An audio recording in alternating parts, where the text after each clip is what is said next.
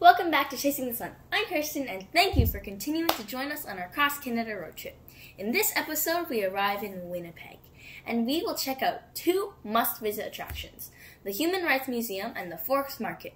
If you're ever in Winnipeg, then you have to check both of these out.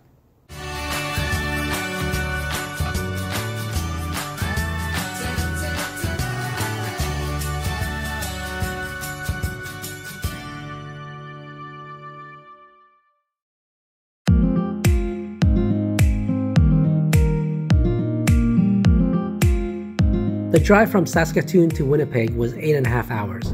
But with enough stops and road trip games, the time actually flew by pretty fast. Okay, rate yours if I rate mine. I'm not gonna rate. It's two cards! you already have two cards? What the heck? no! You're gonna have a pair! After a few wins over Kirsten, we arrived in Winnipeg.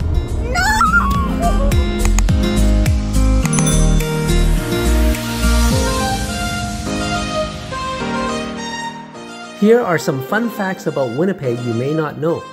Winnipeg is the capital of Manitoba, but did you know that it's the geographical center of North America? So step aside Toronto and New York, Winnipeg is here.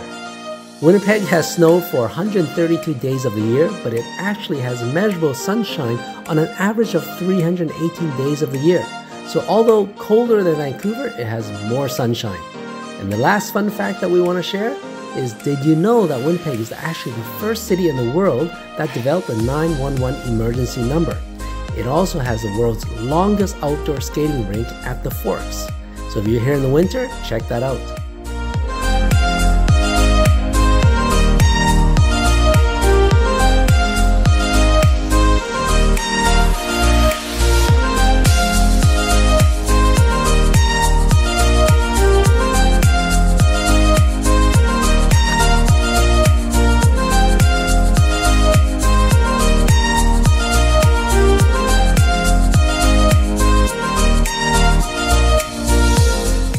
Is uh, a sim- uh, something symbolic to the Inuit or the natives? Yeah, I'm Dakota Anishinaabe, so it's like a Dakota Parfleche bag that uh, women would have wore, Yeah. and it was traded here. It's similar to like the Pendleton blanket. It's called yeah, Pendleton blanket. Yeah. Okay. Cool. Nice. Thank you. Thank you very much. The Canadian Museum for Human Rights is the first museum in the world solely dedicated to the evolution, celebration, and future of human rights. It opened its doors in September 2014. The building is 24,000 square meters in floor area, 100 meters tall in height, and has almost one kilometer of alabaster clad ramps, which involved 15,000 tiles of alabaster, making it the biggest project using alabaster. The total construction cost was 310 million. Antoine Predock is the architect, and his vision for this museum was for people to have a journey. So they enter through the roots of the museum at the lowest level, then they ascend through a series of ramps, and then finally ending at the high point of the Tower of Hope, providing views of Winnipeg. He took inspiration from the natural scenery and openness of Canada, including trees, ice, northern lights, and the First Nations people. Is a of hope that they call it. As you can see down below is dark and then as you go up it's lighted. And the light of this hallway is actually made up of um, translucent stone which is from Spain. It's um, the stones are alabaster stone. So when the light shines through you can see it. I really like what the architect did here with the symbolism.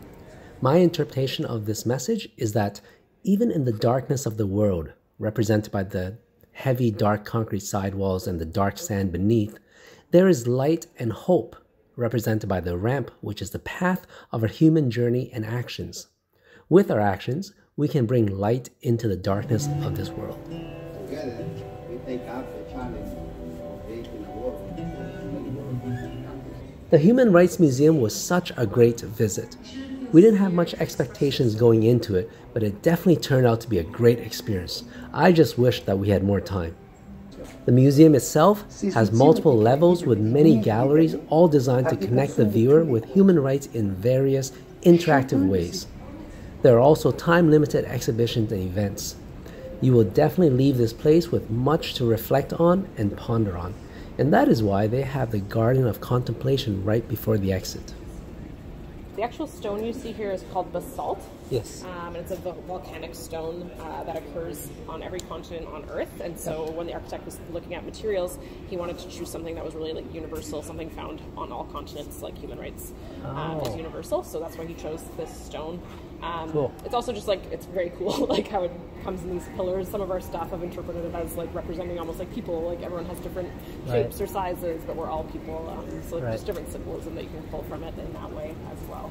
Um, Nice. But really, just the heart of the museum. You can go out around the corner, you can look up, you can see the cloud, the glass uh, windows all around that we call the glass cloud. Um, you can look up and you'll see kind of the base of the Tower of Hope. So it's kind of a spot where you can see all the sections of the museum Cool. coming together. Who was the architect of this Uh, building? Antoine Predock. He's an American uh, architect who's based in Albuquerque, New Mexico. So These are floating, that's why it's cost so much. The concrete, Yeah, right? there's no pillars. There's nothing holding this floor up. So the way that it's being held up is a technology that's uh, inside That's part of what costs so much. Yeah, And what, what's wrong things, with other, lots of things. Uh, this, this, all this rock, we got this from Mongolia. Yeah. Um, because it looks like, when you look at it, it looks like the shell of a Right. turtle. For our indigenous teachings, uh, in the indigenous teachings, Mother Earth is a turtle. And Cool. so that's Mother Earth, and that's so we're standing upon Mother Earth. So to get this rock, we had to go to Mongolia, and we had to ship all this rock. It had to take a plane, a train, a boat, right? And Right. so and then also when you go down, which is why I'm going to tell you, there's a ramp over there. You can walk down. When you're walking down, you're going to see these big pillars, and that's holding this up because this is like six ton. So did they choose? The, this is suspended concrete slab, right? Uh, this limestone. Oh no, the, the the roof and all that. You said it, it's I freestanding. think so. Okay, That Is I- that just because they want big open spaces without interruption?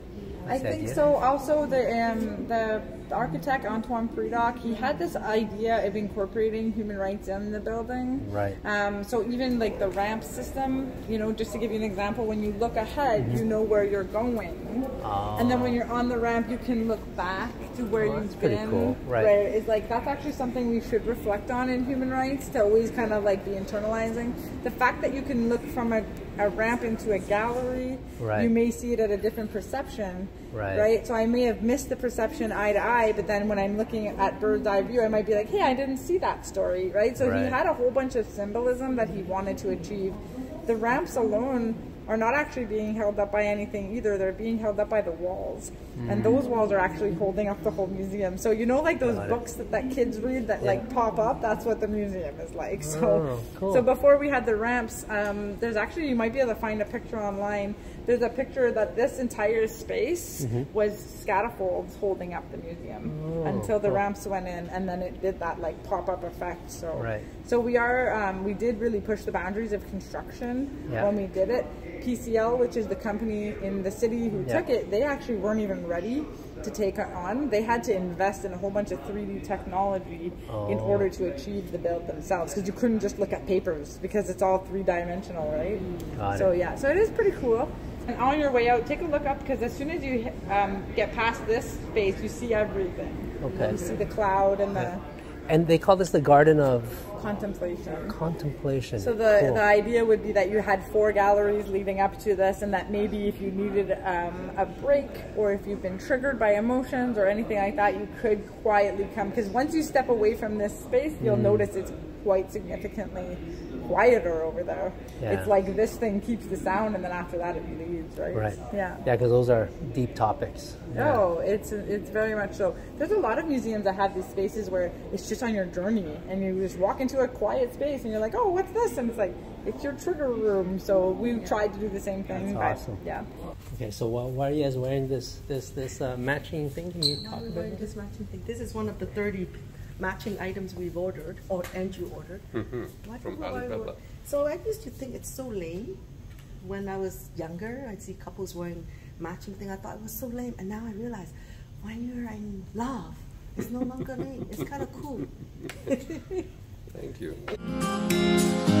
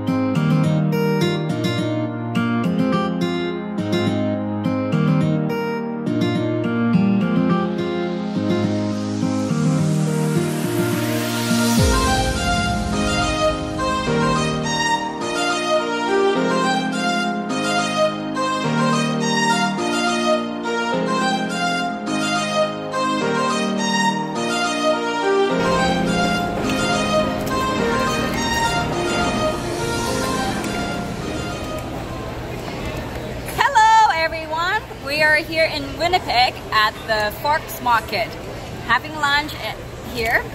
Very, very interesting building. I think they converted this old building into something very sleek and very, you know, decorative. And um, we're here um, having lunch. Look what we have. Very interesting. This is a vegan bibimbap. So I am wanting something in Asian, so I ordered this. And Kirsten is craving for pizza.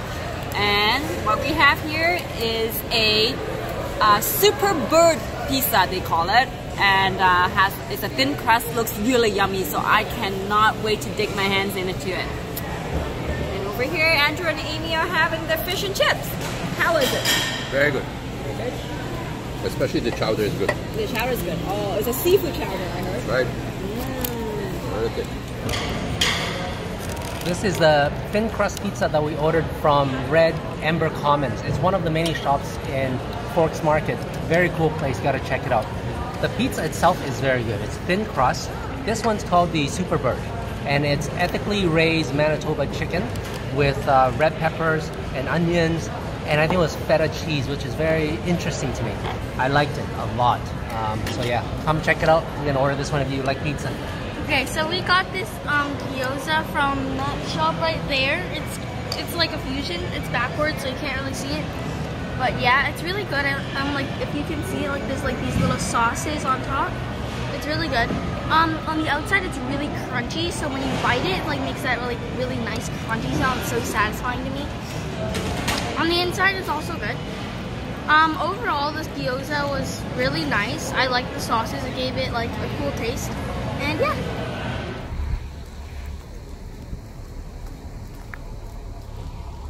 So I am in Winnipeg outside the Forks right now, and I bumped into Chad here, this great fellow. He was loading up his trailer, and I was interested by his little Boler trailer there. What that looks like is you can actually go in, well, actually that's just a marketing thing, right? You, you rent bikes, is that how that we works? actually have two companies. Okay. One of them is our bicycle rental business, Okay. and we also have a Boler camper rental business. Oh, cool. So we own eight of these campers. That's nice, and they can take it anywhere? Anywhere, yes. We've had people take them to Alaska, uh, Vancouver, Okay. New Brunswick. This bike business, we have three locations. Okay. The one here at the Forks, Yeah. uh, one at Assiniboine Park, where our local zoo is, Yeah. and also at Birds Hill Park, which is about 35 minutes away from Winnipeg. Cool. Okay. Awesome. Yeah. So those are the bikes that you can rent. Uh, definitely check them out if you're in Winnipeg. It's my first day in Winnipeg now. If you can share with us a bit about Winnipeg, what makes Winnipeg unique to you? Like you've been here how long? I've been here for 17 years. Right. So what what made you move here? My job brought me here initially. Okay. Um, I worked as a youth pastor for uh, 20 years. Oh, nice. Okay. And uh, in the midst of that business, my wife and I wanted to start something else, yeah. um, do something a little different. So we Right. came up with this idea of renting bikes. And this was our first location right at the Forks. Yeah. We started with four tandem bikes. Okay. That and they wouldn't give us any storage here. They just let us have the Boler camper and the business here. Okay. So we had to store our tandem bikes inside that Boler. That's and we used to have to take Okay. the tires off, the pedals off, all the oh. handlebars. Yeah. Um, which is two sets of handlebars because they're tandem bikes. Right. And we used to have to put them inside that camper. That's cool. That's a great and now story. we have uh, we've grown the business to where we have 22 staff Yeah. every season yeah. and uh, where we have almost a fleet of almost 100 bikes. That's awesome. Perfect. So you brought up a very cool thing I didn't know about Boler. I have a travel trailer myself, as you guys would know. Uh, but Boler has a cult following, and I've always thought that Boler came from Calgary. Maybe you can clarify. Yeah, no, uh, Boler campers were invented right here in Winnipeg uh, Okay. by a guy named Ray Olecko. Um, he was a grade four, I believe, dropout from school, at a, uh, and he later joined the circus. And after his stint in the circus, he came up with this idea while he was camping with his family to put two septic tanks together. Oh. And so those are actually septic tanks that are joined together by an aluminum belt, and and the belt is uh, pop riveted together. And uh, Ray contacted a, a guy who was uh, Sandor Dusa, who is an expert in fiberglass. They partnered together, and in 1968 they started building their first campers. And it's believed that they have about 10,000 of them still on the roads all around Canada and the United States. That's super interesting. That's that's such a great story. I love that. Yeah. Uh, the idea for us to start our second business, which was the Boler camper rental Yeah. business, came because I was working uh, at our kiosk, and oftentimes people would would say they had stories about being in Boler campers. Oh yeah. Okay. So then, if they weren't interested in the bikes, they just wanted to see inside the Bolers. Right, right. And I said, if this happens one more time to my wife, we've got to buy one and just put it on Kijiji and start renting it. oh, that's And awesome. so we did that about uh, 10 years ago, yeah. and our calendar was full. So I convinced her to get another and another and another and another, and then we so we had to move our fleet from our house now to an actual compound. And uh, it's been amazing seeing the number of people that have used these campers for, Yeah. for various events. They've been used in movies. Uh, they've been used in weddings uh, to provide uh, like outdoor weddings to provide a, a space where the bride and groom Yeah. can uh, can change. Yeah. Um, and they've been in the movies, like I said, for uh, used as change rooms for Right. some of the stars. So Good for you. Such a great Yeah. idea. I love it. thank you very much. Yeah. yeah. So um, we're first in Winnipeg here, and one of my things that I'll be doing on my travel vlog is just tell people about the regional differences of Canada. We're going right across Canada Awesome. to New Yeah. Brunswick. Hopefully, Yeah. if they Okay. open up. Yeah, that's great. Yeah. Yeah. What is one thing that you would say is unique about Winnipeg, or like a secret spot that you can share with our audience? Yeah, I mean, earlier I said this is a place I swore I would never live. But Yeah. obviously, you know, this is where my wife and I live now, and we have lived here for about 17 years. Okay. and we've made it our home. Um, what what we find is unique about it, you know, our license plates say "friendly Manitobans," Yeah. and I really feel like uh, this is a very friendly place. And um, you know, it's it's a slower pace than what you'd see in like Toronto or Vancouver Yeah. uh, or Montreal. And because of that, I think people have a tendency to just be a little bit more patient and slower, and uh, and and tend to be people who kind of really enjoy the simple things in life. Right. Um, you know, like this COVID thing has definitely made people reevaluate the pace that they're living their lives. It's Yeah. like somebody God slammed on the brakes or something and For said, sure. "Just slow down." Um, but even before COVID hit, that was something that I would say is unique about this place. That's cool. Okay. So if there's one place that you would recommend us check out, something that's off the beaten path, not the typical touristy thing, is there one cool place to check yeah, out? I mean, I'm biased because I own Bee2gether bikes, but Yeah. but I would say you, you should rent a tan like a bicycle, either Yeah. a tandem bike or or one of our larger bikes that hold actually up to six. They hold up to eight people on one bike. Okay, yeah. So uh, and go to Assiniboine Park and ride through Assiniboine Forest. Uh, Okay. Assiniboine Forest is the largest uh, urban forest in Canada. Forest, not a park. It's, called a, forest. it's- well, there's the park that's beside it, yeah. but um, as part of that park, just next door to it, is a forest, Oh, and cool. that forest is it's like it's really amazing because it's like you leave the busyness of life and enter this place where you just find solitude. You'll see deer almost guaranteed. If you go all the way out to Fort White, you'll see buffalo roaming in a field. Wow, really? Yes. Is it? Can you ride out to Fort White, or is it quite you far? can ride to Fort White. Okay. Yeah, and, and again, I'm biased. I mean, we have maps that are on our website, Yeah. uh, on BeTogetherBikes.com website, and Okay. you just pull up the route you want to go. Uh, I, I believe there's a route that's called uh, Assiniboine Forest, Yeah. and you can pull that up and and download the maps, or our staff have maps that they can put right on your handlebars. You Yeah. know, I've done tours for uh, a number of people, uh, some famous people, and you can read about the reviews on the website Okay. um, and uh, and they all rave about the tour. A lot of them have never tried it before, but by the time Cool. they're done it, they're like, "That was amazing." So, Okay, we will do that. yeah, Before leaving Winnipeg, Amy was determined to find the building that she lived for a few months in her teens. And you know what? We found it. still here. So, what is this building? It's an apartment that grandma used to live, that I used to live. You used to live here for how many months? Three months. Okay, I'm gonna call the realtor. I'm gonna buy 404, this very building. not Chinese number. Okay, let's go buy this building now. I now. wanna buy this building. Come on. Can't be that expensive. How, how do I call the agent? It's not listed. so there's no agent. Okay, uh, uh, there's a car behind us then. You want to walk around it? We have time. Do you remember which unit you were in? Did you jump out a window Up at one there, time? that unit up there. Oh. And Henry was there. Asuk's best friend was in there. And we were drinking Mountain Dew. Oh. They, they work for Mountain Dew. I thought you were drinking something heavy. Then you said Mountain Dew. They were, I want to buy this building. Can, how can we search for the owner? I want to buy it because I used to live. it can't be that expensive when the so did, did did mom say why she sent you off? is. She's like, I'll tell you later. I'm in the eye doctor's office. now." it must be because I was bad. Yeah, we knew that already though. Yeah. So this is my unit. Up there? Yep. Okay, this there. I can was see the street. I remember. I can see the street. this was the building that Amy lived in for three whole months. My grandma and my uncle lived here first. Uncle. Oh. Uncle's best friend's. Oh, I see. Oh, you dropped your flag. My Canadian identity just dropped in the gutter. Winnipeg was so much fun with so much to offer, so we had to cover this over two episodes.